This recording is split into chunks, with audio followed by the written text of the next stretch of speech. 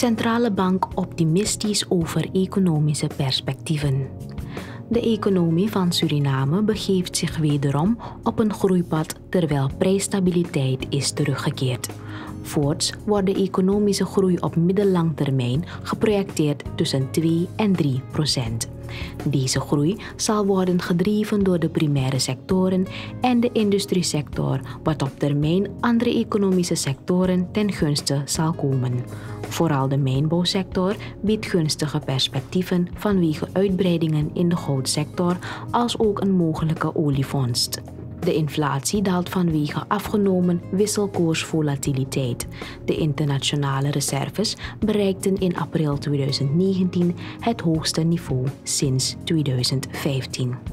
Het vervolg van dit bericht kunt u lezen op www.deboodschap.today. Www.deboodschap.today.